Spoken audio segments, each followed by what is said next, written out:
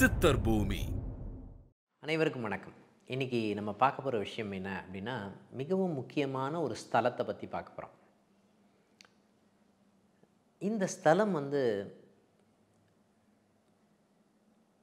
முக்கியமாக வந்து யாருக்கெல்லாம் வந்து தேவைப்படும் அப்படின்னு பார்த்திங்கன்னா யாருக்கெல்லாம் கடன் அதிகமாக இருக்கிறதோ யாருக்கெல்லாம் நோய் அதிகமாக இருக்கிறதோ அவங்களுக்கெல்லாம் வந்து இந்த ஸ்தலம் வந்து முக்கியமான ஒரு நிகழ்வாக இருக்கக்கூடிய தன்மை இருக்குமானா இருக்கும்.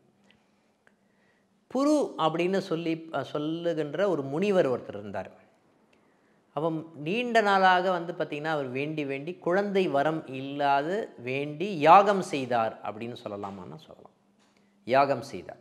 அந்த யாகம் செய்து அவருக்கு வந்து சாலிஹோத்திரர் அப்படின்னு ஒரு குழந்தை பிறந்தார் அப்படின்னு சொல்லலாம். அவர் பேர் என்ன? சாலிஹோத்திரர். அந்த குழந்தைக்கு பேர் சாலிஹோத்திரர். அந்த சாலிஹோத்திரர் பெரிய பெருமாள் மேல் வந்து மிகவும் பக்தி கொண்ட கூடிய தன்மை இருக்கான இருக்குன்னு சொல்லலாம்.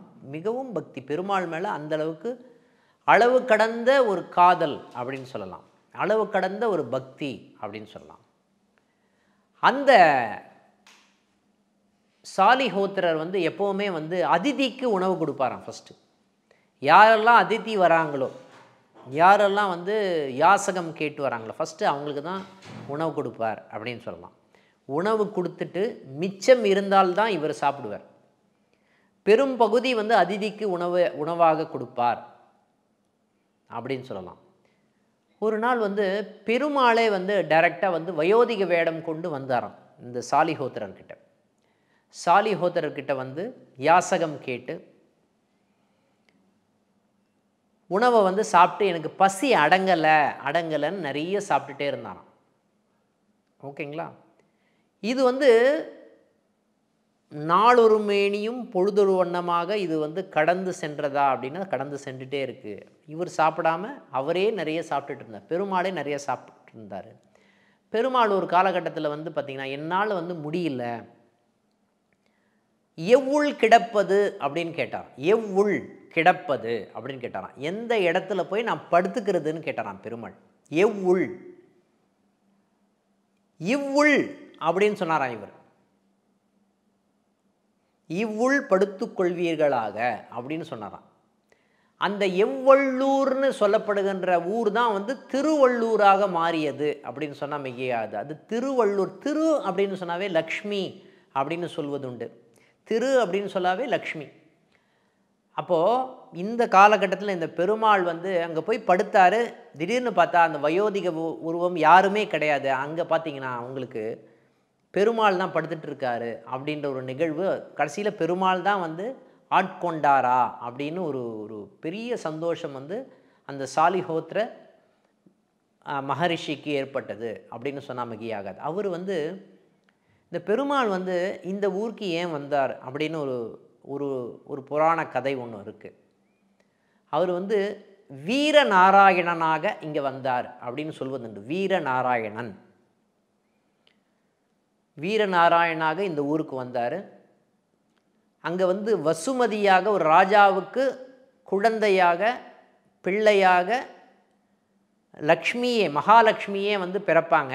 அந்த லக்ஷ்மியை வசுமதியை திருமணம் செய்து செய்து கொள்வதற்காக வீர நாராயணனாக பிறந்த ஒரு ஒரு பெருமாள் வந்து பிறந்து வந்து அந்த வசுமதியை திருமணம் செய்து கொண்டார் அப்படின்ற ஒரு புராண கதையும் இங்கே இருக்கிறதான்னா இருக்குது.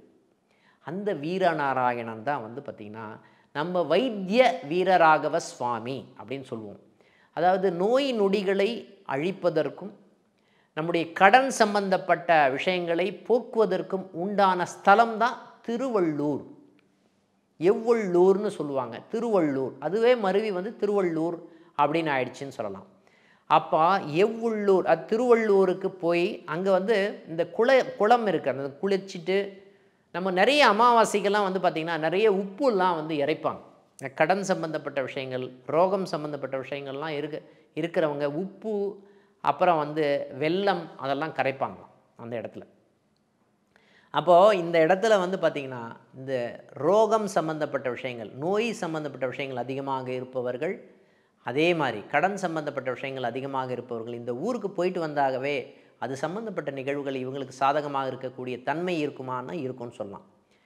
பெருமாள் பேர் வைத்திய வீரராகவ சுவாமி தாயார் பேர் கனகவல்லி தாயார். கனகவல்லி அப்படின்னு சொல்லும்போதே குருவினுடைய அம்சம் அப்படின்ற ஒரு நிகழ்வு அங்கே இருக்கான்னு இருக்குது இப்போ வீரநாராயணனாக இந்த பெருமாளே வந்த ஊருன்றதுனால வைத்திய வீரராகவ சுவாமி அதாவது மிதுன ராசியை குறிக்கக்கூடிய ஒரு தன்மை எனக்கு வந்து ஏஎல்பி லக்னம் மிருகசீரிஷ நட்சத்திரம் போயிட்டுருக்கு. மூணாம் பாதம் நாலாம் பாதம் முக்கியமாக.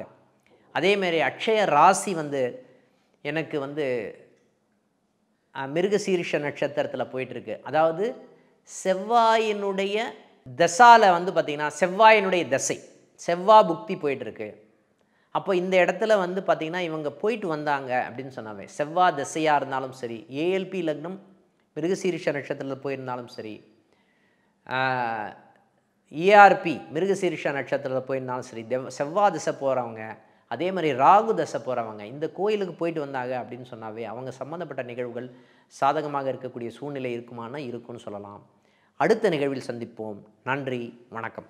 ஜோதிடத்தின் பரிணாம வளர்ச்சி ஏஎல்பி ஜோதிடம். இதை படிங்க உங்க வாழ்க்கை உங்க கையில.